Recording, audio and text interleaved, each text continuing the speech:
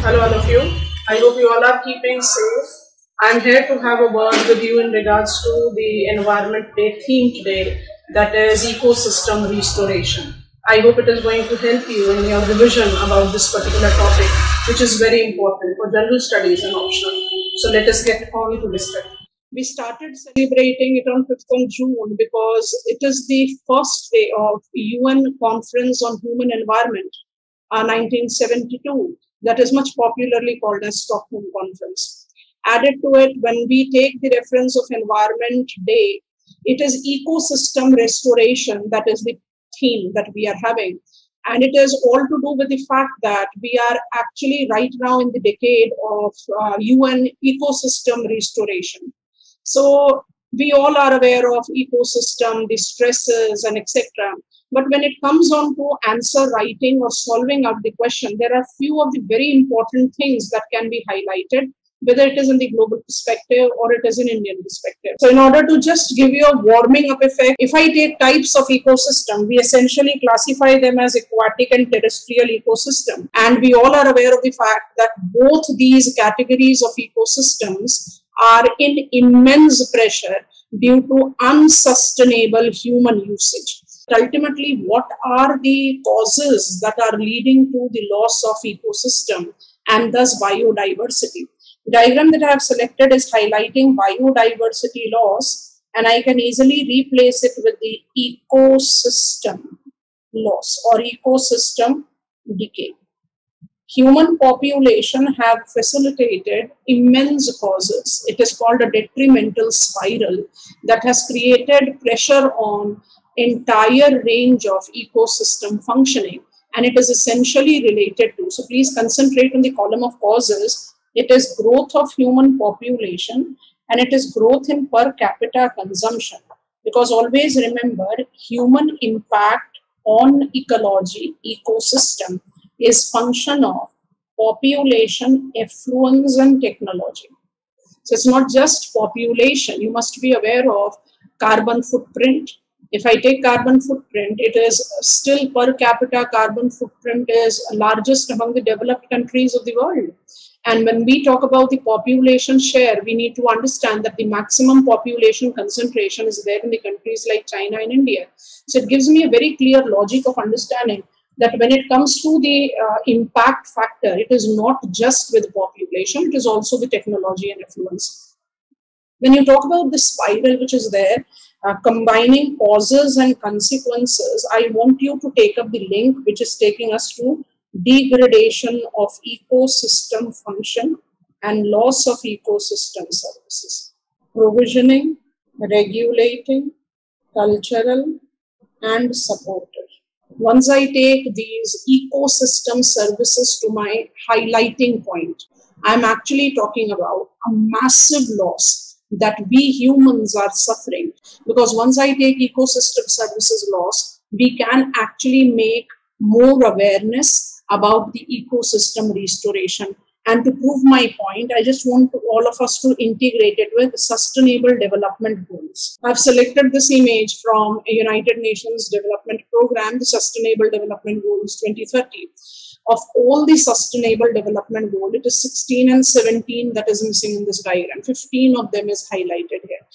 You it's your choice आप कोई सा भी एक सस्टेनेबल डेवलपमेंट गोल पिकअप करो and then try to justify it with ecosystem services let me for example pick up no poverty for me to ensure no poverty there must be the sustenance of provisioning services provisioning services will not just ensure no poverty it will also ensure zero hunger. Sustainable development goal 2 if you are increasing human capacity to come over deprived living, then it is automatically going to have its impact on more feeding population and good health and well-being sustainable development goal number three will automatically come into forefront. And when i take the good health and well-being what you need to understand is something that is very prominent in the present perspective Going back to what I was trying to say, no poverty, that is, I'm having more resilience in terms of economic purview.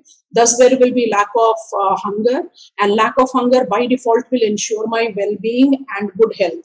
Well being and good health has to do with favorable ecosystem services maintenance or restoration and to prove that point, derived from United Nations Environment Program uh, write-ups that are called UNEP Frontiers. Uh, it's, it's something which has evolved very strongly, as I said in the, uh, the reference of present pandemic. Increasing zoonosis. And the definition is also highlighted here. So diseases transmitted from animals to humans. And of, of the many factors which are there, I can see that it is resistance that we are incorporating, or it is illegal or poorly regulated wildlife trade. I'm talking about these two factors. If for a minute I avoid them, then also please try to take it as unsustainable course of human action, labeling them as number one, deforestation, number two, change of the climate and number three, intensified agriculture and livestock production.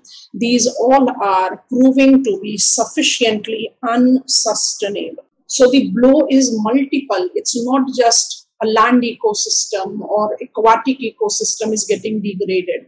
It is not just that there is change in climate and thus vulnerability of agriculture, scarcity of water resources, and multiplying magnitude of hazards that we are reeling under. So I think I have made you understand that we can relate it to the fulfillment of sustainable development goal. We can identify it with a new evolving and a very strongly evolving component of zoonosis. So after understanding the multiple impact that humans are suffering and are going to have a magnified suffering in the likely future.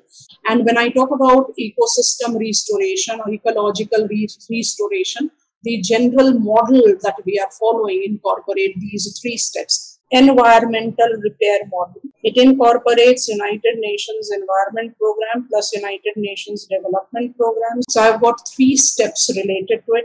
Mitigation rehabilitation and restoration. And what is very important thing that you can take up into account.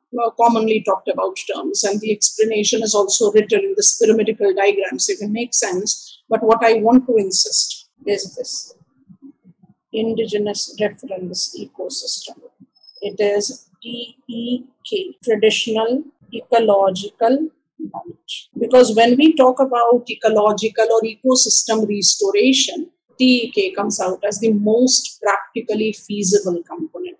Traditional forest dwellers, farmers, the people who are right there associated with the grassroots, they are providing us the most practical edge of restoring model. Now, if I have to take the things further, I'll easily pick up Indian perspective to our study. And as it is written in front of you, when I talk about Indian perspective, this ABC that uh, we have taken in front of us are excellent example of ecological challenges that India is right now dealing under. And these ecological challenges have easily been taken up with the recent example of two back-to-back super cyclonic surges that we have experienced in the west and the east coast of our country. You can highlight that. But the problem do not stop here, and I just want to label it as D because I want to continue with it. Uh, when we take the reference of uh, offering livelihood opportunity, because do remember that when we talk about the Indian perspective of challenges, the most significant constituent that evolves into the socio-economic category is ensuring livelihood opportunity.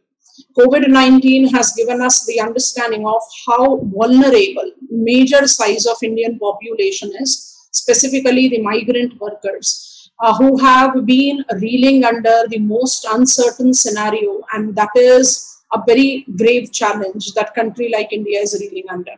So is India taking to her stride the ecosystem restoration? We are always a front runner when it comes on to ecosystem or environment management. If you just try to give few minutes to this infographics, you can easily understand that ecosystem restoration is not out of box thought. It is something that is part and parcel of holistic ecological, environmental, socio-economic development. And once we start developing that approach it automatically will start yielding fruitful results. I just want you to focus on national eco ecological policies and national socio-economic policies.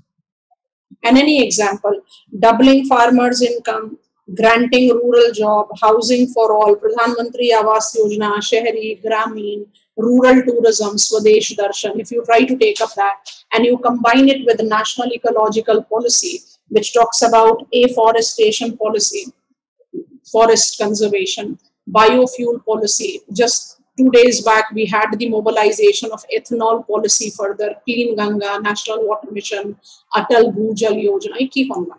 I cannot generate climate resilient society. I cannot create a climate resilient politico-economic setup if I'm approaching ecosystem restoration as something which is aloof from mainstream of growth or planning that any country can follow. This is my perspective of looking at environment today and understanding it in much holistic and integrated manner. I hope this perspective that I take to such type of topics is going to further clarify the way you should also approach it or at least integrate it for a better and more comprehensive approach of any sort of answering, whether it is selecting the appropriate answer in the multiple choice question or writing the answer. Bye bye from my side.